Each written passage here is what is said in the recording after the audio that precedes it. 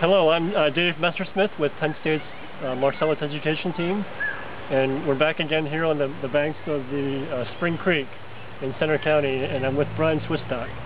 And Bryan is Penn State's Water Quality Extension Specialist uh, with Penn State University. So Bryan, thanks for joining me today. Thank you. Uh, the, the clip, uh, the topic of this clip is um, Bryan is leading a, a water testing initiative uh, a study as it relates to Marcellus shale development in Pennsylvania.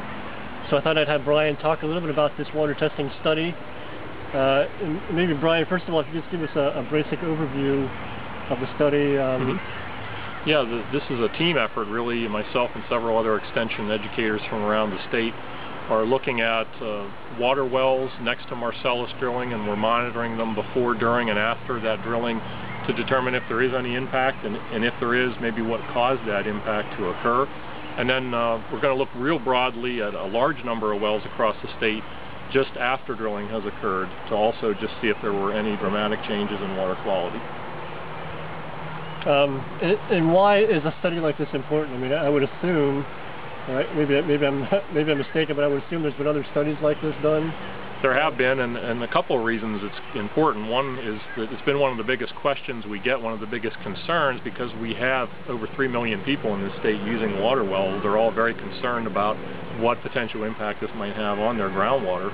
So just the, the large population, the concern among that group, and then also the fact that a lot of the research has been funded by one side or the other, either the drilling or the environmental side, and so it's hard to determine uh, whether those results are, are, biased in any way. So we, we tried very hard to find an unbiased source of funding where we could go out and, and just do the research and report on the facts that we find. And who is funding your study? This is the Center for Rural Pennsylvania, so it is funded basically by the General Assembly, the state government. And with, with this study, you said you're going to be doing a, a, a really detailed testing on, on, a specific number of wells, yeah. and then a, a larger testing across a larger number of wells.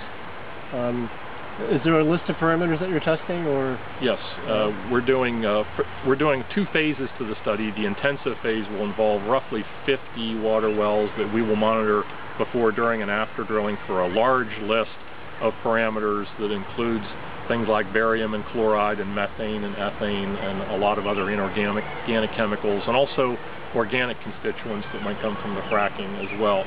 Then uh, the phase two of the study will be on a larger group of wells, about 200 water wells, which we will look at after drilling has occurred for a smaller subgroup of parameters, just the, the methane, or uh, excuse me, not methane, the total dissolved solids, barium, chloride, some of those uh, hallmark uh, indicators you might see from drilling. Okay, and, and uh, looking at the time frame in the project, have you, have you started uh, your initial testing? how long do you expect the testing to, to run for? And when should we expect to see some results from your study? Yeah, we have begun identification of the 50 intensively monitored wells. We've, we've sampled about 37 of those already, so we're, we're getting down toward the end of that. And uh, drilling has started at some of those sites. So throughout the year, we'll be going back to those sites and resampling after the drilling has occurred. The, uh, the broad sampling of the 200 water wells will be this fall. So we, we anticipate that we'll be wrapping it up early in 2011 at that point.